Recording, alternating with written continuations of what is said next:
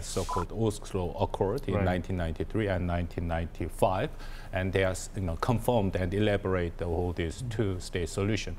And simply put, the uh, they are giving some territory for the Palestinians, and they make uh, some independent state. And then the territory is going to be, uh, we already mentioned a lot about Gaza Strip and West Bank, and two territories that Palestine have an independent state, and other of the, the areas that Israel have, of course, they have So independent there will state be two states. two states. Uh, but you see, we are talking about this issue for past 50 years, but we could not resolve this issue because there are a couple of sensitive issues. For one of the most sensitive issues is uh, the Jewish settlement in the uh, West Bank. There are many Jewish settlements and have to get rid of all of them, but it's very difficult. And another is the East Jerusalem and how to make East, Jerusalem, who's going to control the East Jerusalem. And those are very difficult, uh, sensitive issues to be resolved.